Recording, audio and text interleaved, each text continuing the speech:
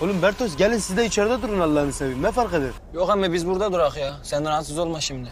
Lan ben sizin neyinizden rahatsız olacağım? Bir köşede oturursunuz. Abi sen olman da şimdi içeridekiler rahatsız olur bizden. Bizi biliyorsun.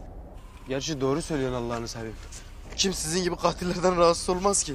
Bazen ben bile yalnızda tedirgin oluyorum. Allah'a emanet. Çok uzaklaşma yakındır.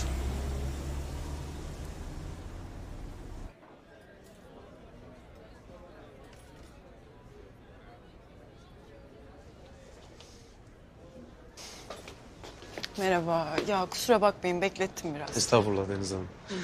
Önemli değil. Buyurun. Teşekkürler. Rica ederim.